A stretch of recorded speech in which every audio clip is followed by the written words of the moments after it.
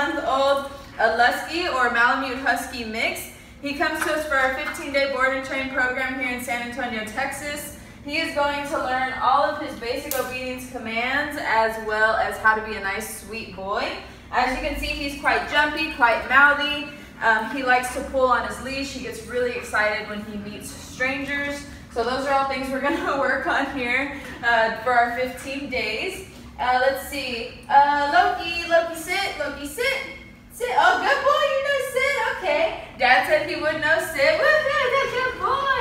Does he know how to walk on the leash?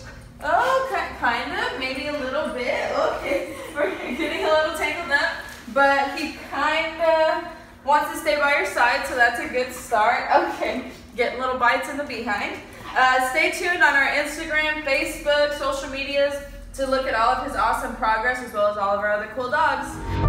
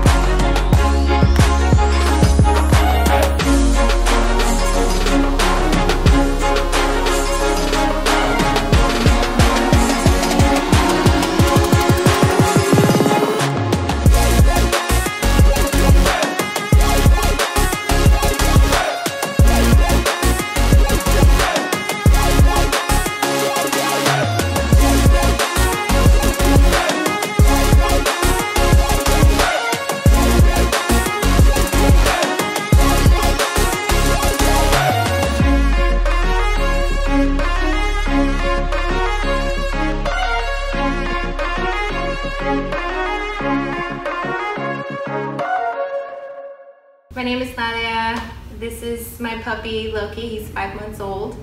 Um, he did the 15 days um, board and train, and I'm very happy with the results. Um, I can't wait to take him home and practice more with him, and he's such a good boy.